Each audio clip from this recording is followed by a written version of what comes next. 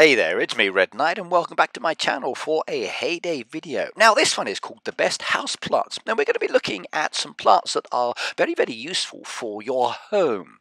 Now as part of the Play for Trees event we did something very nice indeed and now Hay Day is going to be buying enough carbon credits to actually support a project down in Lake Kariba. But I wanted to look at uh, something that's a little bit closer to home and house plants is definitely one of those features that we can actually add to our homes very very easily because they're useful. Now, everyone wants clean air, okay, but I'm afraid air purifiers are very, very expensive. So why not invest in houseplants? They are inexpensive, they are very nice indeed, and they also jazz up your home. But one of the key things about houseplants is that they really do help to clean the air up. They remove a lot of toxins from the air, and in many ways that's a win-win. Now, how much do they remove, I wonder? Well, some interesting information on the internet. It says that they can remove up to 80% of air toxins in 24 hours. Holy smoke, that's a lot. They also help you to improve concentration and productivity up to 15%, reduces your stress levels, and boosts your mood. So that's a very nice win win situation. Now, it seems that NASA has been out there and researching all of these plants, and that's where I've got a lot of my information from, from different posts around the world that talk about NASA's recommendation. So let's start looking at some of those plants. Well, the first one is the aloe vera, a beautiful plant, great for placing on the windowsill, and it's really good for purifying the air. I like these ones, just watch out if you touch them. Another one that is good is the broad lady palm. Now this one is ideally placed in the bathroom and it does help to reduce the levels of ammonia, which is great for those cleaning products.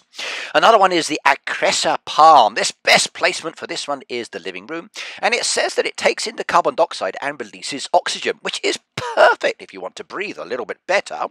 Another one out there which I had as a child is the spider plant. Bedroom and living room and the other good thing about it, it's non-toxic to your animals. If you've got pets, it's great to have one of these. Another one which is very nice indeed is the weeping fig. I like this one. Sits in the living room and it's a good air purifier indeed so well worth getting. Next one on my list is the snake plant. Now, I like this one a lot. I really, really do. Best placement is the bedroom, and it's fantastic for nighttime oxygen production. You can sleep more peacefully with one of these. Next one is the chrysanthemum. I love these flowers. They are beautiful. Kitchen or living room and they do filter out the toxins and they look gorgeous, so why not get loads of those?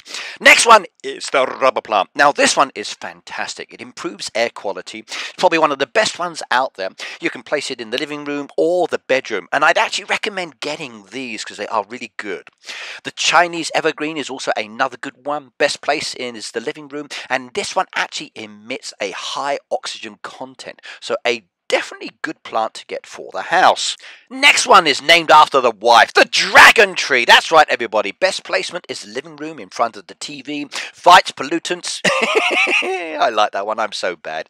Right, a good one to have indeed. Then there is the Gerbera daisy. Oh, I can't get that one right. Best placement is in the bedroom, high levels of oxygen at night, and removes chemicals, which is perfect as well.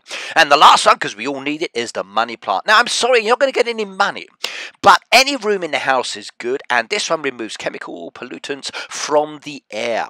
Right, I hope you enjoyed that one. There are some of the plants that are actually off the NASA's recommendation list. I really enjoyed reading about it. And there are a lot of very, very good websites out there that can give you a lot more information about the best house plants.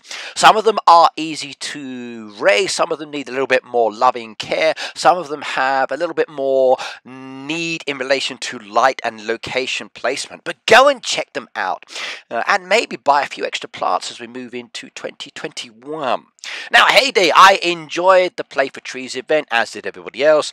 Uh, I look forward to seeing your posts next year on how you are progressing this project. Everybody, make sure you do buy yourself some plants, as I said, and don't forget to subscribe to my channel. I will see you next time. Take care, have fun, and good planting now. Bye!